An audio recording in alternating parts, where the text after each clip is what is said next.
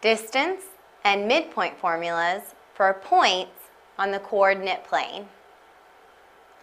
Find the distance between point A and point B, and then find the coordinates of the midpoint of segment AB. First, we're going to start by finding the distance between points A and B. The distance formula is the square root of x1 minus x2 squared plus y1 minus y2 squared. That means we need to know what our x1, x2, y1, y2 is.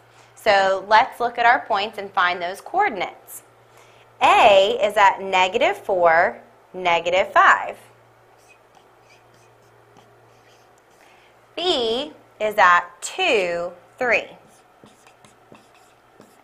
And it doesn't matter which one of these points you choose to be your x1, y1, x2, y2, as long as you're consistent. So I'm just going to use A as my x1, y1, and I'll use B as my x2, y2. So now we can substitute into our distance formula. So it's the square root of x1, negative 4, minus x2, which is 2 squared plus y1 negative 5 minus y2 3 squared. And now we simplify following the rules of PEMDAS. So I have to start inside my parentheses. Negative 4 minus 2. So I can add the inverse. Negative 4 plus negative 2, which is negative 6 squared, plus We'll do the same thing with our second set. Negative 5 minus 3, or add the inverse, negative 5 plus negative 3, which is negative 8 squared. And now I'll simplify by doing the next step in PEMDAS, exponents. Negative 6 squared is 36, plus negative 8 squared is 64. And then we add those together. 36 plus 64 is 100, so the square root of 100. And finally, we take the square root. The square root of 100 is 10.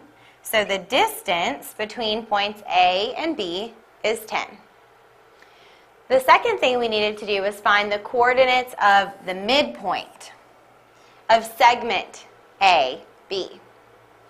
The midpoint formula is where you add your x's, x1 plus x2, and divide that by 2, and add your y's, and divide that by 2.